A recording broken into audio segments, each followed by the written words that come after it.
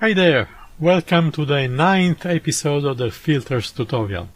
In the past episodes we have learned what filters are and their basic functionality, and we also have seen how we can analyze a filter schematic and what a transfer function is. Now that we have all these basics, it is time to go a little deeper and start looking at specific filter topologies. In other words, there are out there some standard schematics of filters used for various applications that have special and useful characteristics for specific situations.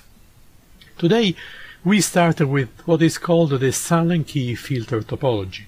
The name comes from the two MIT researchers that invented and studied these filters. The configuration is also known as voltage control voltage source or VCVS and is largely used because it has a very low dependency on the bandwidth performance of the op-amp used in it. And that because the op-amp in this filter only works as a voltage follower, from which comes the alternative name. Let's begin!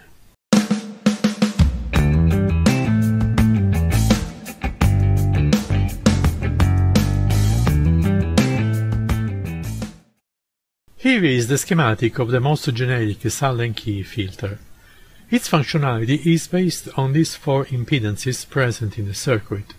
The signal comes from the left and enters impedance Z1, which along with impedance Z3 constitute the first layer of the filter.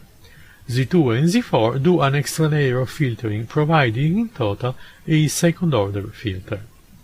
In addition, Z3 provides a positive feedback from the output toward the input that provides an amplification to the signal making it an active filter. The op-amp in the circuit is there only to help providing such positive feedback. Its operational bandwidth and gain have an effect practically negligible on the total filter functionality, and in fact, we even set the gain to 1 using a negative feedback from the output to the inverting input.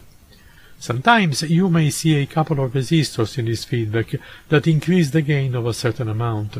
This kind of configuration, however, although extensively used by Sallen and Key, it is not often used because, if not properly designed, it produces instabilities in the filter which could easily start oscillating.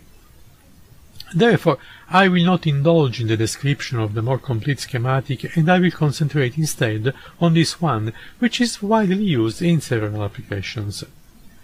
Given the four impedances, we can analyze this circuit in a generalized way to find its transfer function, which we will see it is of the second order. Once this analysis is completed, we can specify the nature of the impedances and see how the general transfer function changes and how the filter operates in the particular cases. We will see that depending on the impedances used in the circuit, we can make this circuit work mainly as a low-pass filter or a high-pass filter. The filter can also work as a band-pass filter with the appropriate choices of impedances, but for that kind of filter it is usually preferred to make slight variations to the schematic to have it work even better. But this is another story to tell, maybe in a later episode.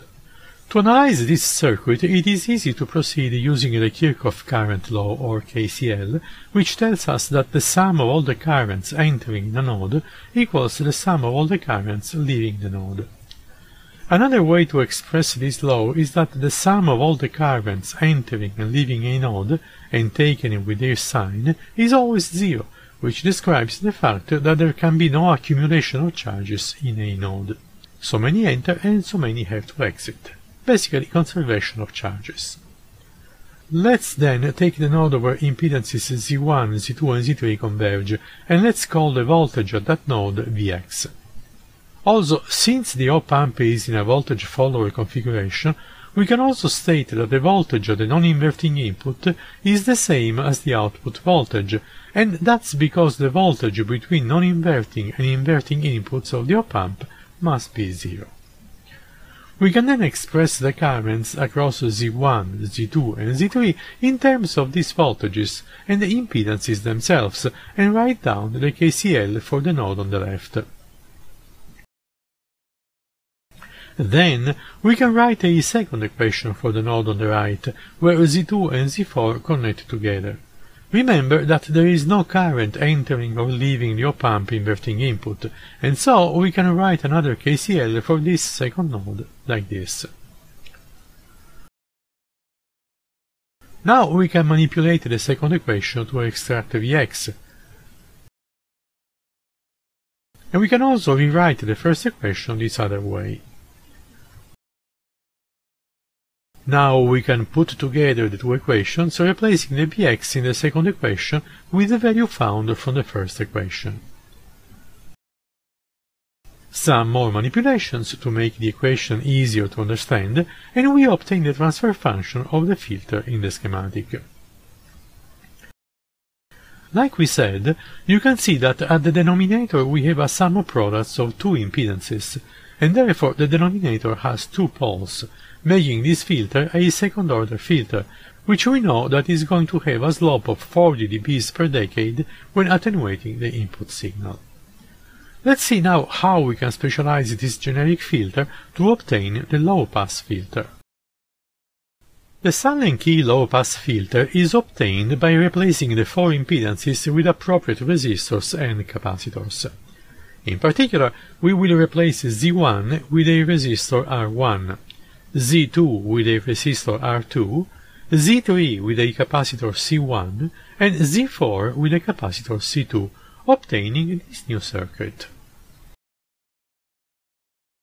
The impedances values accordingly will be Z1 equals R1, Z2 equals R2, Z3 equals 1 over SC1, and Z4 equals 1 over SC2. If we now replace these values in the general transfer function, we obtain this, which we can readjust this way, and then this way. Let me now define omega 0 as 1 over square root of r1, r2, c1 and c2 and f0 as omega over 2 pi, which we call the natural frequency. Now we can write the transfer function this other way. And we can now define also a new entity which we call attenuation as part of the coefficient of the s in the denominator of the transfer function. We will see later the meaning of these two entities. Right now we just need to rewrite one more time the transfer function based on these values. And now we define yet another parameter which we call Q factor as omega 0 over 2 alpha. And also its opposite, the damping ratio as alpha over omega 0 or 1 over 2q.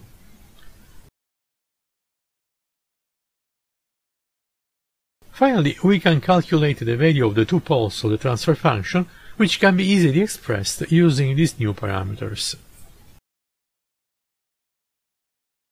Let's now take a closer look at the Q factor to understand its meaning and effect on filters.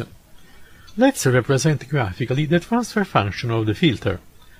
For very low frequencies, the omega elements in the equation become negligible with respect to the other parameters, and so the the transfer function approaches 1 and stays that way until the effect of the frequency is no more negligible. Conversely, for very high frequencies, the modulo of the transfer function goes down at a rate of 40 dB per decade, since this is a second-order filter. But what happens in between?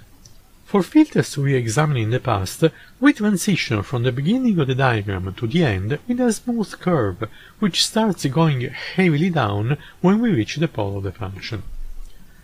With more complicated filters like the Sallen-Key that we are examining, things become more complicated. In particular, when we draw the central part of the curve, we notice that it is heavily affected by the value of the Q factor. For Q factors smaller than 1, the curve is smooth, but it stays lower than we have seen in previous kind of filters. However, when Q approaches the value of 1, still being smaller than 1, we see that the curve tends to move higher and higher. When Q reaches the value of 1, then the curve is exactly what we would expect from the analysis of previous filters. But now, If we increase Q past the value of 1, something different starts to happen.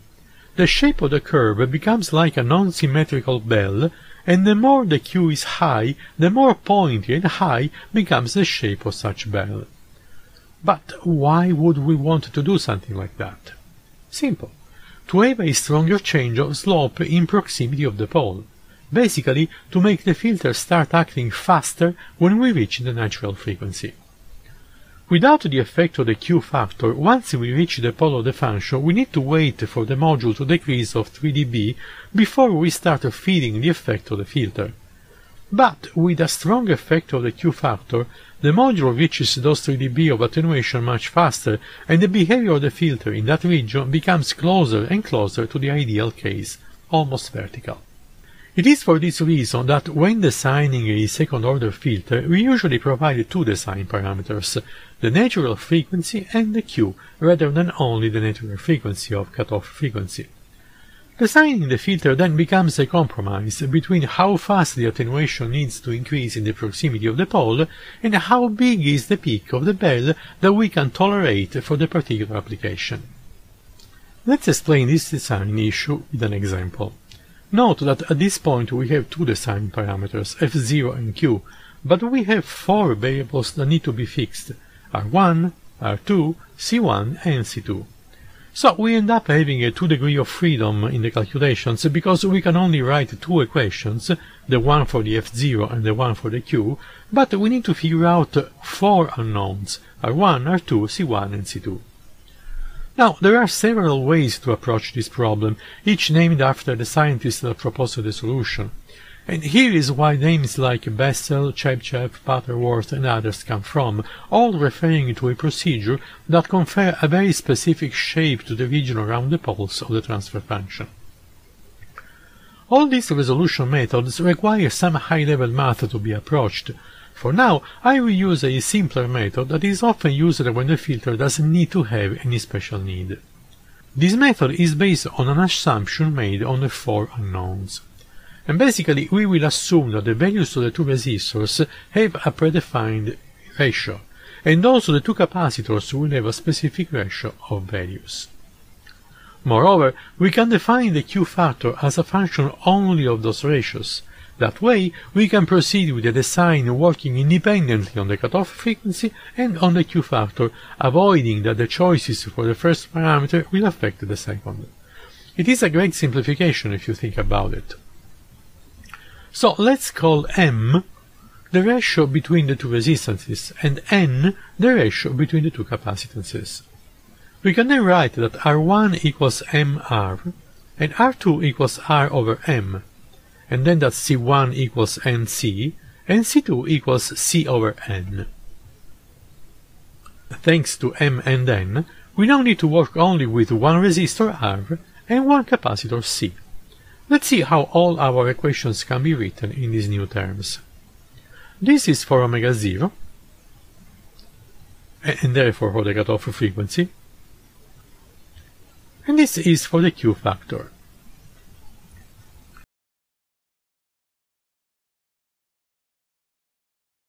Note that the cutoff frequency depends only on R and C, while the Q factor depends only on M and N, total independence between the two. At this point, we can work on the first design parameter, and once done, we can work on the other, separately, independently. To make a working example, Let's assume that our design requires a cutoff frequency of 18 kHz and a Q factor of 0.8, which assures a smooth transition from the two sides of the transfer function module. And now let's consider first the effect of the Q factor. We can write that mn over m squared plus 1 equals 0.8. And now we can rearrange the equation to find n as a function of m. And now let's make an assumption, totally arbitrary, that the value of m is 1 so that the two resistors are identical. We can make any assumption in those terms. I decided to set m equals 1 to make it easier to find the right resistors, but I could have used any other value, actually. But now, being m equals 1 from the equation, we find that n equals 1.6. Let's now use the other design parameter f0, which is equal to 1 over 2 pi rc. And let's select a resistor R of 10 kiloohms. A few calculations, and the value for C is 884 picofarads. Now we can calculate the actual values of R1, R2, C1 and C2. So this is for R1, this is for R2, this is for C1, and this is for C2. So now we can draw the actual schematic for our filter after adjusting the capacitors for the closest values that I have available. Here's the low-pass uh, Sallen-Key filter that I built based on the calculations that we had done to have a frequency of 18 kHz, a cutoff frequency of 18 kHz, and a Q of 0.8. I have connected my function generator on the input of the filter and the oscilloscope on the output. Let's take a look at the two components. Here is the function generator and uh, you can see right now we have a sine wave of 5 kilohertz and 5 volts peak to peak and uh, on the oscilloscope we can see the effect of the filter at this frequency and now if I go up and down through the frequency you see right now it's 5 kilohertz let's see what the effect is. And basically you see here doesn't change anything. Going down going up. Instead the shape was decreasing because of the effect of the filter. Here for example we are at 36 uh, 37 kilohertz actually. So uh, let's go back to a lower frequency. This is a low pass filter so let's start from here 3 kilohertz for example I already set my cursor so that we have uh, change in amplitude of 0.07 volts. Uh, well, it's actually 0.72 because I don't have enough definition over here to do exactly that, but it should be enough for our uh, purposes. So I'm going to now increase the frequency until the shape of the wave goes to the lower cursor, and that will be the cutoff frequency of uh, this filter. Okay, so let's adjust uh, the cursor so that it touches exactly the top over there. Okay, and now let's increase the frequency. Okay, it went down too much. Okay, I'm gonna stop here. Remember that we have a gap of 720 instead of 707, so I left a little bit of leverage here to address that point and the frequency is uh, 19 kHz, which is uh, good enough uh, considering that I had to change a little bit the capacitor's values because I didn't have the exact values that I required for 18 kHz. So yes, the filter works just fine, exactly as we predicted, exactly as we designed it for. And if we wanted to have an exact 18 kHz, we would have uh, chosen for C1 and C2 more precise capacitors with respect to what I put in, uh, in the circuit. All well then. Now let's pause right here our discussion on the Sallen-Key filters. I understand that this is not an easy to follow subject, so it's better if we stop here to give you time to let all these notions sink before we put more of them out there. In the next video of this series, we will introduce the Sallen-Key high-pass filters, going through both the analysis and the design of these filters. And then we will make some examples on how to make band-pass filters, combining all the notions gathered up to that point. After that, I'm sure you'll have enough information to understand the Sallen-Key filters, enough to be able to design your own filter for your own necessities. And now, what's left to do for you is to subscribe to the channel, click on the bell to activate the notifications, and so you won't miss any future episode. That, of course, if you haven't done so already. See you in the next video, and as usual, happy experiments!